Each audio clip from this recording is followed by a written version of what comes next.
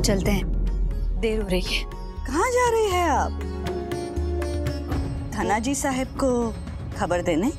कि आपको ज़िम्मेदारी देने के बाद बड़े सरकार भी लिम्बोड़ी गाँव की समस्या पर नज़र बनाए हुए है